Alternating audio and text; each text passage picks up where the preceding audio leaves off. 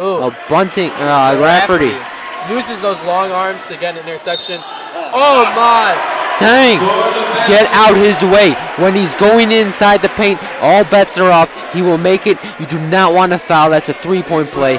Big time. All right, Big he has time. a steal and a three-point play possibility, all in about a matter of three seconds, and uh, that's why Matt Rafferty's on the cover of this book that we got right here. Yeah, he's got that vertical that you should be uh, afraid about.